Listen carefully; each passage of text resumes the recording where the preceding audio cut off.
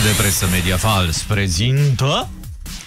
Vești bune pentru românii care merg la mare de 1 mai. Autoritățile se laudă că au găsit o nouă metodă inteligentă de încasare a taxei de pod de la Cernavodă, în sensul că toate persoanele de la ghișee vor fi foarte inteligente, cu minimum masterat sau doctorat la activ. Da, da. Aici uh, poți să și râzi dacă... Uh, Oana Zăvoranu declară că nu e deloc îngrijorată de faptul că nu o să mai bage nimeni în seamă după ce se termină scandalul cu mormântarea, pentru că și motanul ei, Marța Foi, e destul de bătrân. Cu prilejul Festivalului Luminii, mai mulți bucureșteni din cartierele sărace și-au organizat propria sărbătoare. Festivalul Luminii trase direct de la stâlp.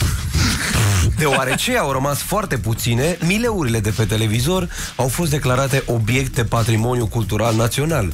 Cine deține unul și îl mișcă de pe televizor, riscă amendă penală.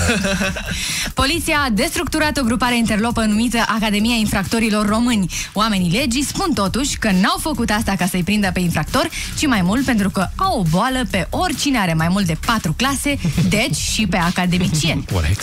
La cererea majorității utilizatorilor Facebook, site-ul de socializare va face schimbarea pe care toți o așteptam. În newsfeed vor intra cu prioritate filmulețele și fotografiile cu pisici! Woo! Yay! Mihai, Mihai Trăistariu s-a oferit cobai pentru transplantul de cap. El s-a justificat spunând că deja a pornit-o pe drumul ăsta de când a început să-și facă transplant de păr. Așa, Și în fine... în fine, paleontologii transilvaneni susțin că au descoperit rămășițele unei noi specii de dinozaur. Spăgarosaurus rex, o reptilă uriașă care le cerea bani celorlalți dinozauri ca să nu dispară ca specie. Bravo, mulțumim! Yes! Fals cu Smiley!